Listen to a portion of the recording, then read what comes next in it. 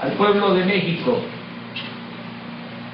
Informo que no puedo aceptar el fallo del Tribunal Electoral que ha declarado válida la elección presidencial.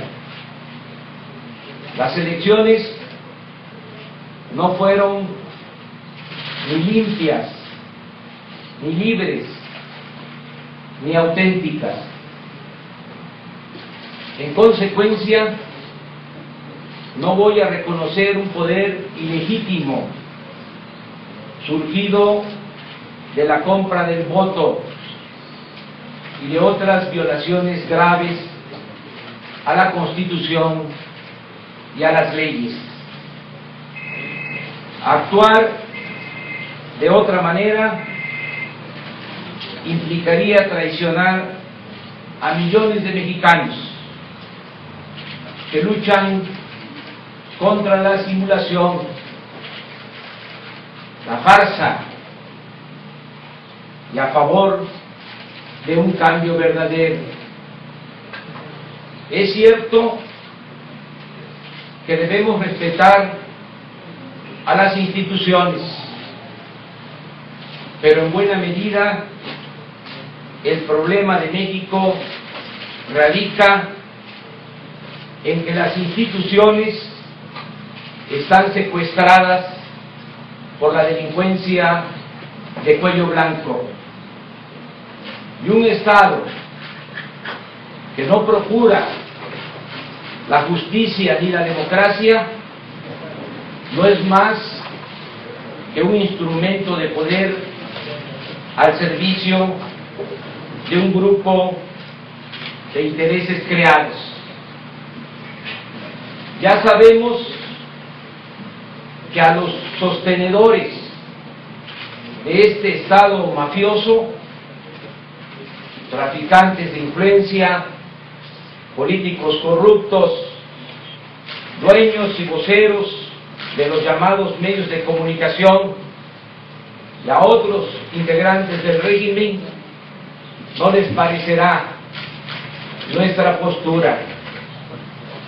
Ellos quisieran que aceptáramos el fraude electoral y que rápido entráramos en el juego de las negociaciones políticas que en las actuales circunstancias solo pueden significar arreglos populares o componendas en contra del bienestar del pueblo y de la nación. Ojalá se entienda que así como ellos defienden por todos los medios al régimen de corrupción, nosotros estamos sinceramente empeñados en abolirlo.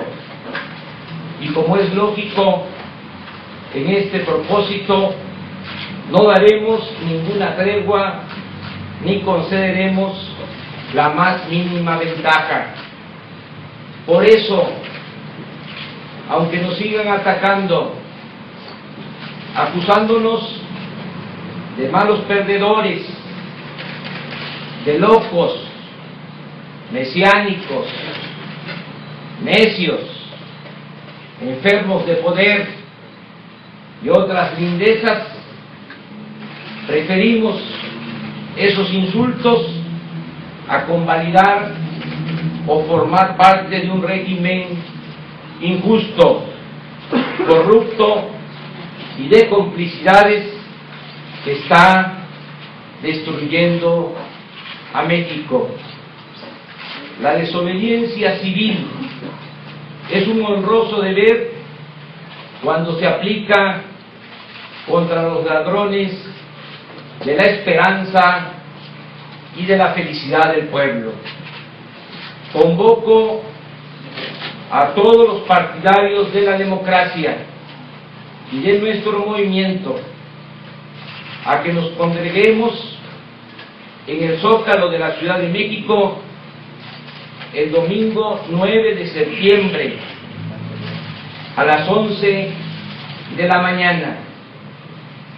Ahí definiremos lo que sigue. Adelanto que continuaremos defendiendo los derechos individuales y sociales de todos los ciudadanos, usando para ello nuestra autoridad política y moral.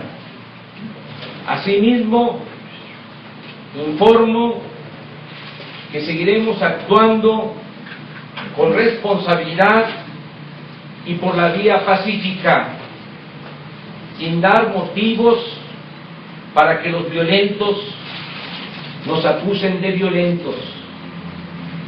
No claudicaremos. El destino de México no tiene precio.